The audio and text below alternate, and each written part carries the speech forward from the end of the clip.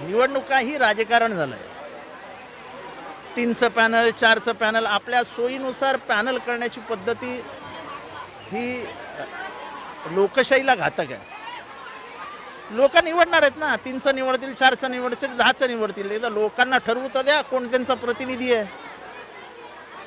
सत्तेत असलेल्यांना जर निवडणुकाला निवडणुका घ्यायची भीतीच वाटत असेल तर लोकशाहीची हत्या होते स्थानिक लोकश लो- लोक संस्था ज्या असतात लोकल ॲटॉनॉमस बॉडी त्याच्यामध्ये जोपर्यंत नगरसेवक बसत नाही तो परतेपर्यंत प्रशासनाची सत्ता असते. प्रशासनावर कंट्रोल मंत्रालयात नसतो याचा अर्थ सत्ता मंत्रालयात असते.